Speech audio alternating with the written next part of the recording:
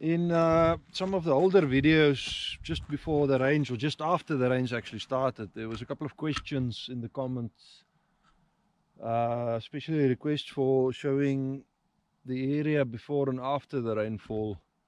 And it set me thinking people could imagine that the drought was broken everywhere that rain fell everywhere.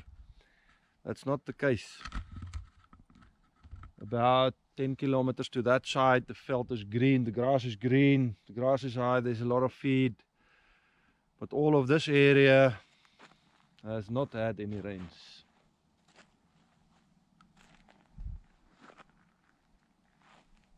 And this is what this is what it looked like uh,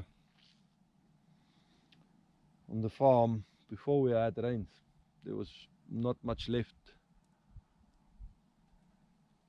I'll do a I'll do a comparison. I'll uh, I'll continue the video in some of the greener parts to show the contrast between where we had rains and where we haven't had rains.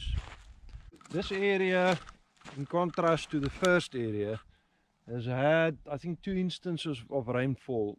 If someone uh, between Pofadder and Kaka was about 20 k's out of Pofadder uh, is watching the video and can give us exact figures in the comments, that would be great. But as I understand it, there are two events of rainfall. One with good enough rainfall to actually wet the soil and one very light. And you can see there's a lot more greenery. There's some grass growing, but you can also see that it's uh, already, the sun is already taking its toll.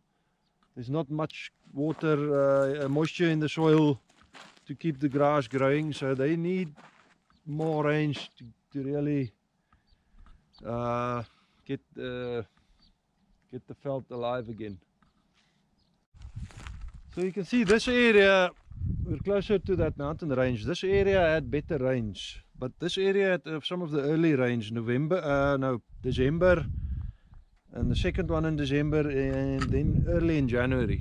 Uh, they didn't have any follow-up rain, so you can already see the grass going uh, a little bit more grayish as it's uh, making seeds.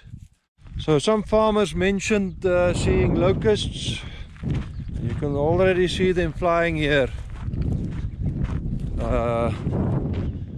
What I wanted to point out here is, is this is a this is a perennial grass, meerjarige gras, and they are recovering nicely can see the annual grasses are already already withering while the perennial grasses now make uh, making seeds. Beginne saad maak and you can see the sheen is the seeds. That sheen on top just above the soil is the sheen of the the seeds because uh, conditions are not ideal for the perennial grass to keep growing so they're making seed uh, it has been a long drought and it's going to need a bit more to fully recover. A lot of locusts, a lot of them.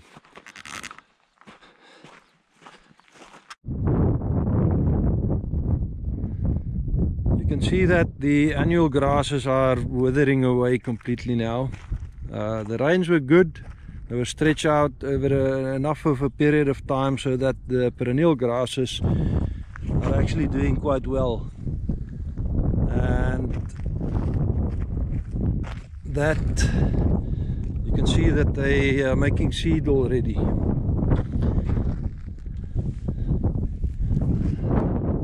En haar ou gewoontes is moeilik om af te leer.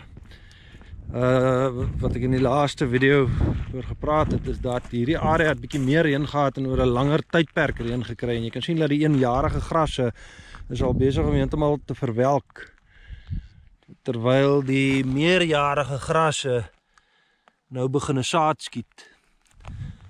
So, omdat hulle oor 'n langer tydperk reën gehad het, het die meerjarige grasse meer tyd gehad om uh, te herstel na die na die lang harde droogte. Uh Die veld het nog geënt om te gaan om te kom soos hoekom al gesien het daar in 2000 en 2000 en 2001 was dit baie mooi geweest. Maar ons is dankbaar vir dit wat hy al reeds herstel het. Sien julle op die volgende video. Cheers.